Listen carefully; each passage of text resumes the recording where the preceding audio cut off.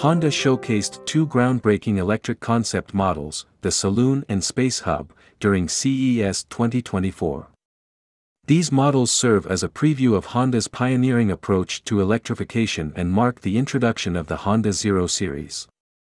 Shinji Aoyama, Honda's global EVP, highlighted the series' fundamental redesign, emphasizing a distinct and bold aesthetic that aims to redefine the perception of electric vehicles.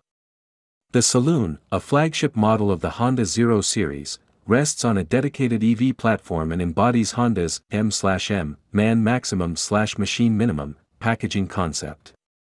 Its design combines a low and wide exterior with a surprisingly spacious interior crafted from sustainable materials.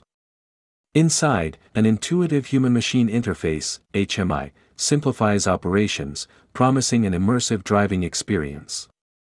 Additionally, the Saloon introduces advancements in steer-by-wire and motion control systems, leveraging Honda's extensive expertise in robotics.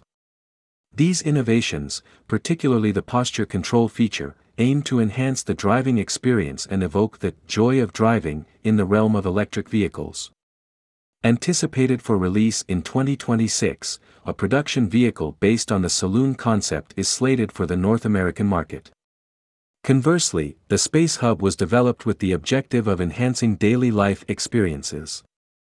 Adhering to the thin, light, and wise development approach, this model prioritizes a spacious cabin and exceptional visibility.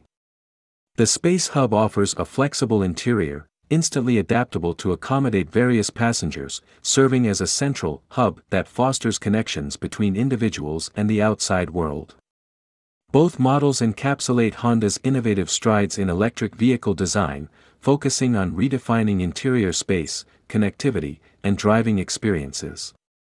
These concepts herald a new era for Honda, promising revolutionary electric vehicles that prioritize user-centric design and technological advancements, ultimately aiming to redefine the landscape of electric mobility.